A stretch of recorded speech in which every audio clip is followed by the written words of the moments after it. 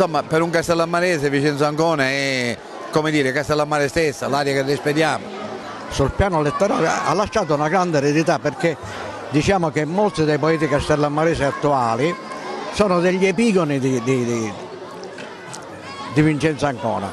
È stato anche un artista già perché ha fatto delle miniature di personaggi e di gruppi operate con fili di telefono sottilissimi. Questi lavori addirittura sono esposti in un museo degli Stati Uniti d'America di New York.